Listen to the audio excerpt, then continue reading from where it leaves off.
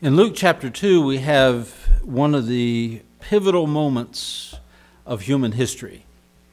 Those all the years count down to the birth of Christ, and since then we're counting from the birth of Christ. But the life of Christ that we're studying is a series of those pivotal events that change the course of human history. Adam set us on a course to sin and bondage and an eternity in hell because of that sin and the coming of the Lord Jesus Christ, beginning with his incarnation, which is what we're going to look at this morning, the birth of Jesus, and then his sinless life and his atoning death on Calvary, the shedding of his blood for our sins, his burial, his resurrection, all of those are pivotal moments culminating in the resurrection from the dead because the fact that he arose again gives us hope that we too will live. Had he not come out of that grave, had he not been virgin born, had he not come, had he not lived a sinless life, had he not died on that cross, any of these events taken out of God's plan would have canceled our salvation. It would have rendered us hopeless. But when you look at the intricacy of God's plan and design and the sovereignty, as we're going to see this morning, even in the manipulating of ungodly, perverse, wicked men and devoted servants of the Lord, he brings all of it together to bring about his plan, whether by the disobedience of men or by the obedience of men. In the end, he receives the glory and the honor. And if that doesn't make you respect and honor and fear this type of God who can sovereignly do this while granting man that free will to obey or disobey, then you don't have a full understanding of who God is. Because that is, humanly speaking, we say it's impossible. Well, there, here in the introduction to Luke chapter 2, I, I put on the handout the Nativity roller coaster. As I was reading this account of Luke 2 1 through 20, it, was, it reminded me of, I think it was Apollo's chariot. Was it Apollo's chariot? One of those roller coasters that it, it starts off low and then it just slowly climbs that huge long mountain. You can almost see your house from there by the time you get to the top. And then it just releases. You go through a series of ups and downs, ups and downs. And then it just all of a sudden throws you into a curve and brings you all the way back, going up and down, highs and lows. And of course, everybody's screaming and feeling like they're going to be thrown out of the thing. Well, this, this passage, there are 10 of these such hills that begins with a low and goes to a high and a low. And let me, let me just kind of walk you through it. It begins with a low of Caesar Augustus, a perverse, wicked king who would be God. He desired to be a God. And then it goes to the high of God's superintending over the historical events that led to the, the coming of the Messiah. And then back to a low when God became man. Here, God leaves glory to come down to poverty. And he was born in a very lowly, humble, simple way. To become as creator and sustainer of the universe, he became a part of that creation, took upon him the form of man. He humbled himself. And that takes us to the next high, which is the gospel, the, the news that the angels came to announce to the shepherds. He says, We have good news. That's the gospel. That's what gospel means. And then it takes us to, as the shepherds are the first recipients of that message, that's another low. They were considered the lowest on the social status in terms of people. They were considered dishonest, they were considered unclean to be a shepherd. But then we see the high, at least for those shepherds. They were the first to hear, but they were the first to go worship the Lord Jesus. Why did Jesus come? He came to seek and to save that which was lost. Luke 19, verse 10. The theme of the Gospel of Luke. And who, to whom did he come? But to the, he didn't come to the king. He didn't go to Caesar. He didn't go to Cyrenius. He didn't go to Herod the Great. He didn't go to the temple, to the priests, chief priests, and high priests, and all those. He went out into the dark fields of Bethlehem, and he appeared to those shepherds that night. What a high for them to be the first ones to go worship. And then the low, the babe in the manger. You say, well, I thought the, the babe in the manger would be a high. No, when you stop and think of the manger, the stall, and the picture that that is, it's a, it's a symbol of the deadly purpose for which he came. Another song Brother Earl has sung for us by Ron Hamilton is Born to Die. That title is kind of, it sounds kind of morbid, doesn't it? Born, no, we, we're born to live, not born to die, but Christ, He was born to die upon Calvary. So the, the picture of the babe in the manger, understanding the purpose for which he lay there and for which he came, and the very location where he was, was a total picture that God had begun painting back in the Garden of Eden and all through the Old Testament sacrifices. The next high is the greatest message mankind ever heard. That's what that sacrifice was going to represent. The fact that he did come to seek and to save that which was lost, and he gave himself on Calvary to provide the means by which we could be reconciled with God. But then we have another low, and Mary, and all of this excitement, and the angels coming, and the shepherds, and all the excitement that was, she kept those things in her heart and pondered them. She could have become proud and puffed up and begun to brag, and no. Joseph, we never see a word, we never hear a word recorded in Scripture from Joseph. They were lowly, humble. This is a good, some of these are good lows. And then it ends on a high mark. The results of all this, God gets the praise and glory. So as we go through verses 2 through 20, we're going to learn we can trust God through the highs and the lows of life, whatever they are. Read with me in verse chapter 2 verse 1 and it came to pass in those days that there went out a decree from Caesar Augustus that the, all the world should be taxed. And this taxing was first made when Cyrenius was governor of Syria and all went to be taxed, every one into his own city. And Joseph also went up from Galilee, out of the city of Nazareth, unto Judea, unto the city of David, which is called Bethlehem, because he was of the house and lineage of David, to be taxed with Mary, his espoused wife, being great with child. And so it was that while they were there, the days were accomplished that she should be delivered. And she brought forth her, her firstborn son and she wrapped him in swaddling clothes and laid him in a manger because there was no room for them in the inn. Let's pray. Father, as we come to celebrate again the birth of Christ, though it's not our typical season for this, or this is something we can celebrate any time as we go to your word and understand again the depths of your love for us that brought about the redemption plan and the incarnation of the second person of the Trinity, who became man and lived a sinless life and went to Calvary for us. And then his death, burial, and resurrection give us that confidence that our sins are forgiven and that our hope of eternity in heaven is sure. Encourage our hearts again as we consider this this morning. We pray in Jesus' name. Amen. First of all, in this passage, we see here in verses 1 through 7 and also verse 10 11, we see that we can trust God in the highs and lows of life because of fulfilled prophecies. See, prophecy is when God tells us ahead of time what's going to happen. You and I can't do that. We can try to prophesy. Now, uh, let me caution you about claiming to be a prophet and prophesying. The penalty for a false prophet and a false prophet is one who prophesies and it doesn't take place, or he prophesies in contradiction to other clear revelation from God. The penalty is death.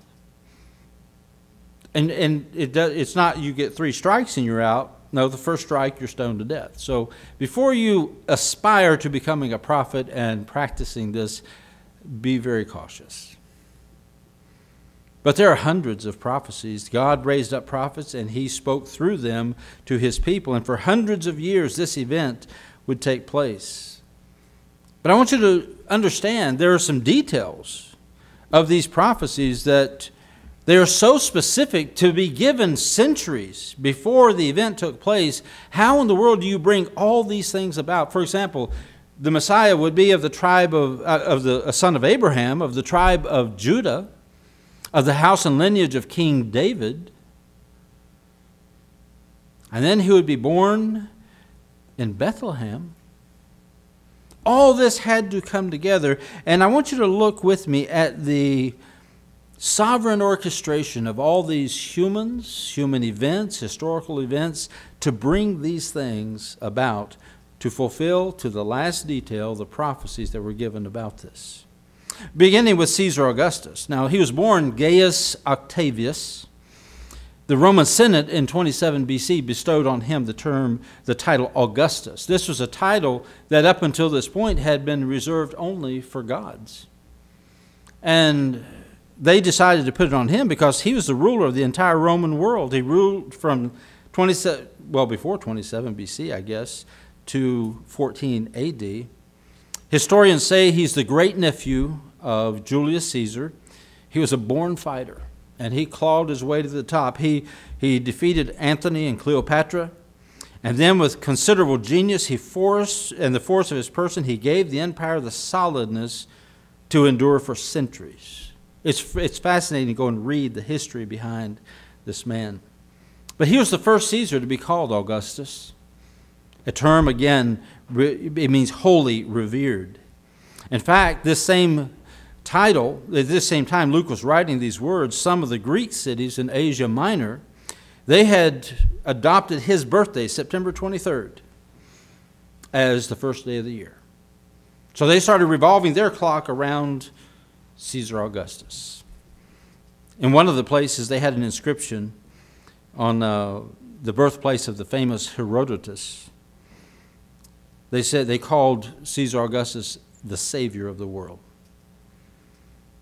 So we see this is a perverse man. He had basically brought about the Roman Empire and stabilized it literally for centuries throughout that area by the force of his leadership and and he accepted this title and he would be a god and others would have him to be. In fact, John Buchan says that when Caesar Augustus died, men actually comforted themselves with this. Well, Augustus is a king, is a god, and gods don't die, so he's okay. So they comforted themselves this way. So the world had at its helm at this time when it says in the it came to pass that, that there went out a decree from Caesar Augustus. The Caesar, the emperor of the Roman world, which was the, mainly the civilized world of the day a self proclaimed, widely accepted God and Savior is the way they presented him. And that couldn't have been more false, it couldn't be more misguided. But how is God going to use such a perverse man to bring about the fulfillment of the prophecies? Well, he, uh, the Bible says here there went out a decree from Caesar Augustus that all the world should be taxed. This is the Roman world. Some interpret it to be all the inhabited world, which they, they claim he had conquered. I'm not sure which it is, but at least all of the Roman world, under which Israel, while it was dispersed, Judah, the two tri- southern tribes, they were in the land, and they would fall under this taxation. It's not a the census that was to be taken was for taxing purposes, not military purposes. But we see that this taxing was first done uh, when Cyrenius was governor of Syria. This would have been the government that would oversee this the southern part of Israel. So they would be under his leadership. And then, of course, Herod the Great, the king, the king of the Jews, as he, he was recognized, he would have to enact, as much as he disliked serving under these other leaders, he would have to enact all this. But in order for this to take place, now we have to look at not only these wicked kings, but you have these godly people. Joseph and Mary, we have studied in Luke chapter 1 and Matthew chapter 1 how that God's choosing them and using them for the birth of the Messiah was a life altering event for them. But here they are, the Savior's to be born in Bethlehem. So it's very specific. And they live 85 miles to the north in Galilee, in Nazareth. While they are both of the lineage of David, Joseph, he is a carpenter in Nazareth. He lives there. Mary's home is there. And of course, now we've seen the events that have brought them together, even though they have not yet consummated their marriage. We see that they now have to go. Verse 3 says, And all went to be taxed, everyone into his own city. They, being of the house and lineage of David, they would have to go back to that hometown of Bethlehem, which was the birthplace of King David. So you see how God is now. But how do you get them down there? Well, he uses the emperor to tell the governor, to tell King Herod to do this taxation, which brings them down from Nazareth in the middle of the winter. They will have to go through some very, very rugged terrain. As I said, it's 80 to 85 miles. Nazareth, depending on which part of Nazareth you're in, it can be anywhere from 1,040 feet above sea level to 1,586 feet above sea level. And then they have to descend all the way below sea level, 1,400 feet, to the Sea of Galilee as they go down and go up by the Jericho Road to ascend 4,000 feet back up into Jerusalem. And these are rugged terrain. She's eight, almost nine months pregnant. 85 miles in the winter, a five to six day journey. And while we see all these pictures with her sitting on a donkey, it doesn't say that in Scripture. There's no reason to believe she did not walk most of this way. Perhaps someone lent that to them, but they would have been poor, and we don't know that they would have had that. But they make that trip and bring them to this place, and how God uses these events to bring them where He needs them to be, to fulfill that prophecy given in Micah 5 2. But thou, Bethlehem Ephratah, Thou, though thou be little among the thousands of Judah, yet out of thee shall he come forth unto me, that is to be ruler in Israel, whose goings forth have been from old, from everlasting. So this child to be born, while humanly speaking, there is a beginning of his human incarnation, he is from everlasting. He is eternal. So we understand that it, it, Micah has to be speaking of the Messiah here and where he would be born. And of course, God superintends to bring them down to Bethlehem, to the royal city of David. Can we trust a God who can superintend events in this way to bring the details? We talked last time about how, had Joseph been the physical father and been of the seed of Joseph, how he would have been disqualified to sit on the throne of David because of Jeconiah and his curse back in Jeremiah 22 30 and how that legally, yes, he, he has a legal title to the throne through his adoptive father Joseph, but his royal claim to the throne is through Mary and her lineage from a different branch of David's family through Nathan. How God, in every minute detail, brings about what had been prophesied beginning back in Genesis chapter 3. You can trust God because of fulfilled prophecies. Other prophecies are going to be fulfilled there in verses 10 and 11. Uh, we'll get to those in a moment, but it's the angel said, Fear not, for I bring you good tidings of great joy, which will be to all people. For unto you is born this day in the city of David, where God said it would, the Savior that He promised, and I'm going to give you His name. He's Christ the Lord, or His title. His name is Jesus, His title is Christ the Lord. God fulfilled all of those promises that He had been given to Abraham and to mankind for centuries. But not only can we believe and trust God in the highs and lows of life because of fulfilled prophecy, but there are fulfilled types. A type in Scripture is a figure, a symbol, a picture that foreshadows its antitype, which is yet to come. In the Old Testament, we find many types that are fulfilled in the New Testament through their antitype. Manna is a type of the Word of God. We also see that uh, there are other types we mentioned on the, I'm trying to find my outline here that I gave you. I put some there that I don't have on my notes. Egypt is a type of the world, a picture and figure. That's why many times that symbol of Egypt is a picture of the world in bondage, and it will be referred to even in the New Testament that way. Leaven is a picture and type of sin. The sacrificial lambs, which is the type that we're going to look at that's fulfilled here, is a type of Christ, God's perfect lamb. And here in this, in the coming of Christ, I believe we see one of the greatest types of all the scriptures fulfilled in even greater detail than modern traditions hold. But the Jewish traditions are very suggestive and seem to be more in conformity with the passages of scriptures as to the very location where Jesus was born. Well, he was born in Bethlehem, yes, but where in Bethlehem? Well, there's no room for him, for him in the inn. Notice what it says there in verse 7. It says, She brought forth her firstborn son, wrapped him in swaddling clothes, and laid him in a manger because there's no room for them in the inn. Now, many traditions hold that, okay, they sent him around back of the inn and put him in the old dirty stable back there with the donkeys and horses and cattle and those things. But Jewish tradition does not hold that. The Church of the Nativity there in Bethlehem, while that may be some of the religious traditions that that's where he was born, that's not what the early Jewish traditions were. Alfred Edersheim, he brings out a lot about this. And he believes that this, and I, I, believe it based on some things we see in this passage too, and I'll point those out in a moment, that he was not born there in the downtown part of Bethlehem, but he was born in the outskirts at the Tower of the Flock. Let me tell you about the Tower of the Flock, and that's what's on the back of that card. The Tower of the Flock was a, a, special place. It had been a military tower to watch there five miles from Jerusalem. They were watching for the enemy but it became used of shepherds. And while this was, again, five and a half miles from Jerusalem and the temple where the, these travelers would come from time to time to offer sacrifices, well, if they came from a distance, they would not bring a lamb from there. They would many times purchase one on the way into Jerusalem and then take it to the temple and offer their sacrifice. These shepherds to whom the angels appeared here in verse 8 these were not just any ordinary shepherds, because the tower of the flock, according to Jewish tradition, is these were the, the sheep that were to be offered in the temple sacrifices. That means it's not every sheep.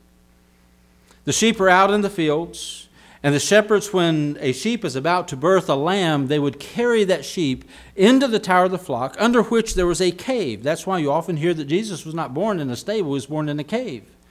Well, there is a cave, a cutout, underneath the tower of the flock. And that's where the lambs would be birthed. And then, upon birth, the shepherds would examine that lamb very carefully. If there's any spot or blemish that would disqualify it from God's standard for temple sacrifices, the lamb would then be moved to other shepherds and other flocks somewhere else. They would not remain among these flocks that were dedicated only to temple sacrifices. If it was found to be without spot and blemish, perfect lamb, they would then wrap it in swaddling cloths and carry it up into the tower, into a manger stall, and they would lay it there until it was ready to go out into the fields with the other lambs.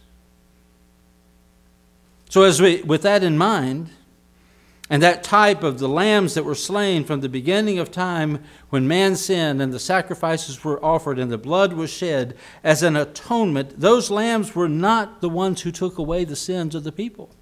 They covered the sins of the people until that perfect lamb of God as John the Baptist will say in John 1:29, behold the lamb of God that taketh away the sins of the world. Do you see the type? The type in the Old Testament are the lambs. The antitype is the Lord Jesus Christ. They would cover the sins until the coming of the one Lamb of God, who once and for all, past, present, and future, would be God's satisfaction, God's propitiation for our sins. So look at verse 8 with that in mind. Where in Bethlehem would this birth have taken place? And there were in the same country shepherds abiding in the field, keeping watch over their flock by night. And lo, the angel of the Lord came upon them, and the glory of the Lord shone round about them, and they were sore afraid. That's been the reaction of each one to whom the angels have appeared. And lo, the angel of the Lord, uh, verse 10, and the angel said unto them, Fear not, for behold, I bring you the gospel. Good tidings of great joy. Good news is the word gospel. When we preach the gospel, we're preaching the good news of the death, burial, resurrection, and soon return of Jesus Christ. They came to tell him, the Savior who's going to die and be buried and rise again and save the world from their sins, he's born unto you this day. I bring you good tidings of great joy, which shall be to all people, for unto you, the lowly shepherds. These rejects, in fact, some of them, many times they were not permitted to do to be a part of worship because their job rendered them unclean, ceremonially unclean pretty much all the time. And the, the days of purification would, would not pass. So they were kind of a different group. They were, not, while necessary to provide the sacrifices for all of Israel, they were kind of rejects in terms of society. But interestingly, Isn't it fascinating that that's the ones to whom Jesus came? Why Luke 19:10? Why did Jesus come? Why did he become man? He came to seek and to save that which was lost. He didn't go to those that thought they needed no savior. He went to those that knew they needed a savior. And that's why I think it's very fitting that in the type and picture he appeared first to the shepherds. But look at the message to them. He tells them who was born in the city of David. Okay, let's let's go down the prophecy checklist. Unto you is born, God promised he would send a, a, a savior. In the city of David, the town of Bethlehem, that's where he said it would happen. Now, you're shepherds here in the fields around Bethlehem. And he said he would send a Savior for Israel and the world. And he said, It's Christ the Lord, it's the Messiah. He's born tonight. Can you imagine all that, the anticipation of all those centuries of prophecies? And all of a sudden, these shepherds sitting out there and they get this message? I imagine their hair probably stood on end. They, they, they just got those chills and they said, Can it be happening? Can these angels, and of course, you can't deny the angel there in the dark and he appears before them. And well, then he goes on to say, For unto you, verse 12, this shall be a sign unto you. You'll find the babe wrapped in swaddling clothes lying in a manger. Now, that phrase right there is vital. Notice that in the birth of Jesus, in the, in the birth of John the Baptist, it's basically two verses that cover it. And it's very vague, and no, no details. Here, Luke, a medical doctor, that's a fascinating birth. Here's a woman who is deemed to be past childbirth age, but yet he does not spend time describing that birth. Here he gives us very vital details as he records the birth of Christ. And one of those is this will be the sign. This is how you're going to recognize the Messiah that's born to you. You're going to find a babe wrapped in swaddling clothes, lying in a manger. Now, you remember the wise men? We're going to see them in Matthew chapter 2 in a few weeks. Well, when the wise men came, they saw the star, they followed the star all the way down to Jerusalem. And they went to the king and said, Where is he that is born king of the Jews? We saw his star in the east, and we've come to worship him. Now they had a star to guide them. They were wise men. They had known the prophets, prophecies going back to Daniel. And they were coming to worship, but they didn't know where to go. So they were inquiring, asking, How do we find this king of the Jews? Now, this was, we believe, months later, maybe years later. But the shepherds didn't say, uh, Okay, where is he? Well, he's lying at, well, which manger, which stall, which stable? No questions were asked. This will be a sign. You will find the babe wrapped in swaddling clothes lying in the manger. And suddenly there was with the angel a multitude of heavenly hosts praising God and saying, Glory to God in the highest and peace on earth, goodwill toward men. But for these shepherds, they needed no more information. Notice what they said. And it came to pass, as the angels were gone away from them into heaven, the shepherds said one to another, Let us now go even unto Bethlehem and see this thing which is come to pass, which the Lord hath made known to us. And they came with haste and found Mary, Joseph, and the babe lying in a manger. No searching, no inquiring, no asking. Because when they said to these elite shepherds guarding, guarding over those flocks destined for temple sacrifices, their headquarters was the tower of the flock. They knew the practice, and when this Lamb of God that takes away the sin of the world, the perfect Lamb of God, was born, the Jewish tradition holds that it was there in the tower of the flock. They believe the prophecy of Micah 4 8 is referring to that same place and that event, even though it's speaking of the kingdom, but it's also a prophecy of that same location. And there that babe was born and taken up and wrapped in swaddling clothes and laying in a manger, just like the lambs that were destined to be sacrificed. The ultimate fulfillment of that great type of the Old Testament in the lambs is fulfilled in the very birth of Christ as he is laid in that manger stall, destined for Calvary to be the ultimate sacrifice for our sins. No more appropriate fulfillment than that. Well, the types are fulfilled. Whether he was born there or not, the type is still fulfilled. But as I've studied it, I find that it is fascinating. The scriptures seem to indicate, and these shepherds, and the statement made, and the no need for further explanation, they knew exactly where to go. Well, we can trust God through the highs and lows of life also because of the message fulfilled. Verses 13 to 15. Suddenly there was with the angel a multitude of heavenly hosts praising God and saying, Glory to God in the highest, and peace on earth, goodwill toward men. The message of salvation God has sent you a Savior, and He has given you the means by which you can be at peace with God.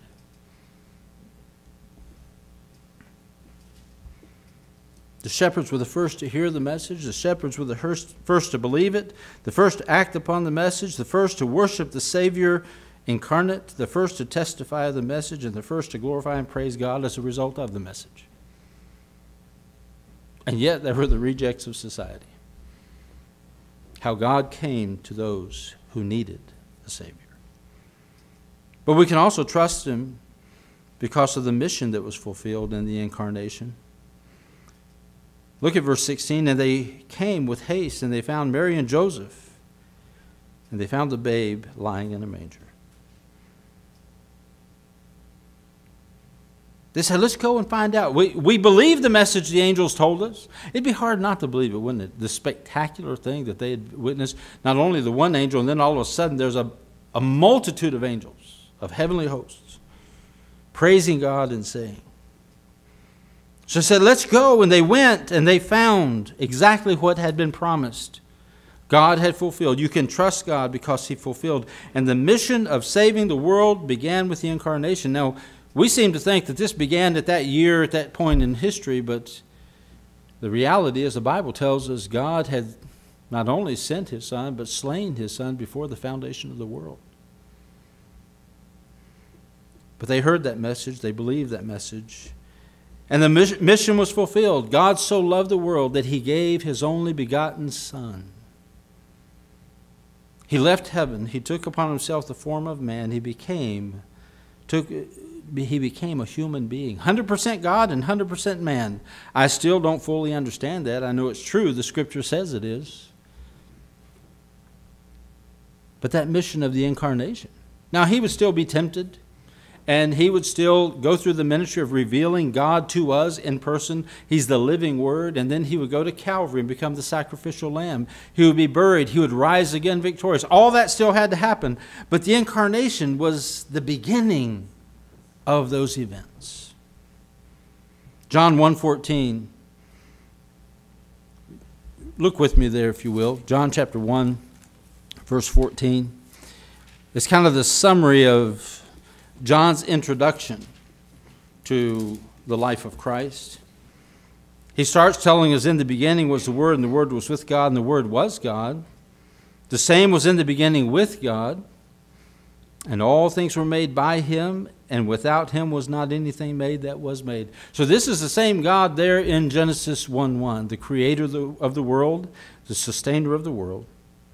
He's also the end to which Creator goes, is made by Him and for Him.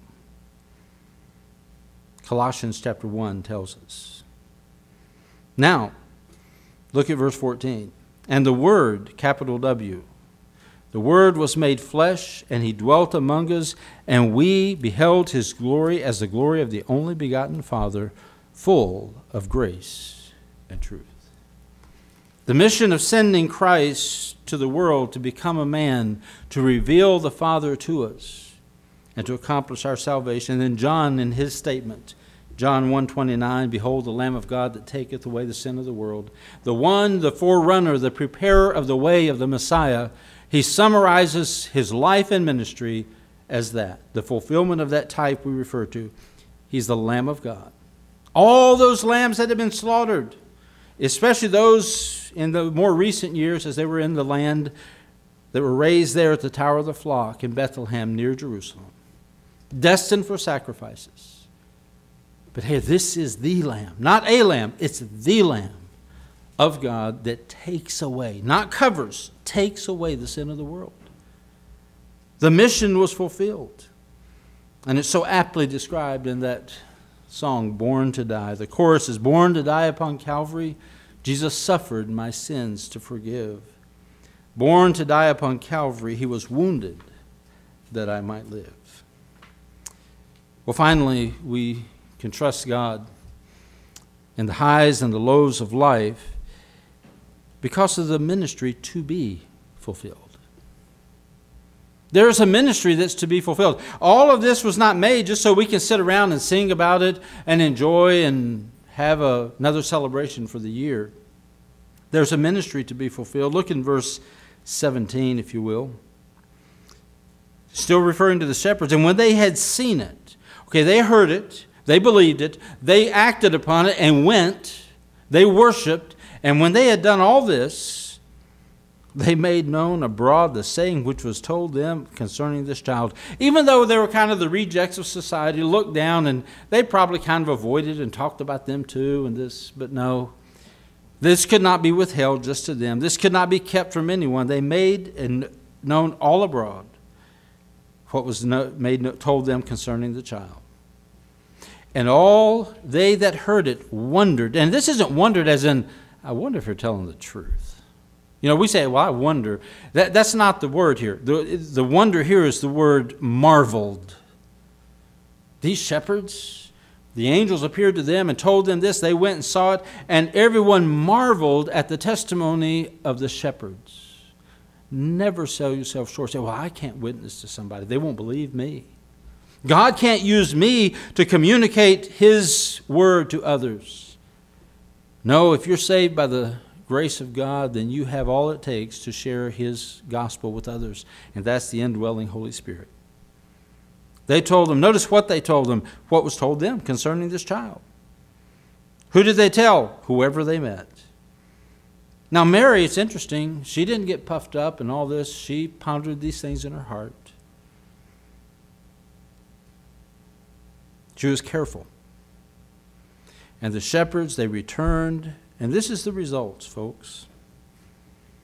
When God's plan is carried out, the end result will be that He's going to receive the glory and the praise. The shepherds returned, glorifying and praising God for all the things that they had heard and seen. Now look at this, as it was told unto them.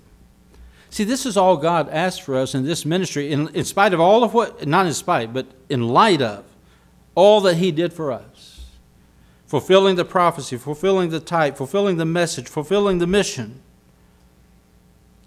But notice this last one is not past tense, it's not fulfilled. It's a ministry to be fulfilled. We have a responsibility in light of what has been revealed to us. They had very little revelation at that point, only what the angels told them and what they saw in that limited scene. We have the completed scriptures and the, uh, the vision of history. We know more about the whole picture than they did. And therefore, we have a greater responsibility to do as they did and to tell others. But you tell it how? As it was told to you. That which you have seen in the Scriptures and learned, that which you have experienced by the transforming power of the blood of Christ and the indwelling Holy Spirit, share that with others. Tell them what God has done for you.